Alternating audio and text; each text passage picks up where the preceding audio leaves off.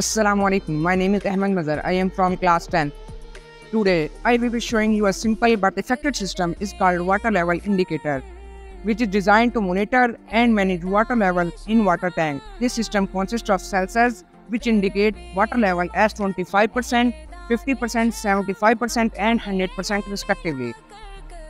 When adding water, the water level rises. The water level rises, the sensors and the lights are linked with the alarm that shows alarm activation. When water reaches at 100%, a light turns on and alarm is triggered that shows water tank is full. A water level indicator helps preventing overflow, which causes the damage and wastage of electricity.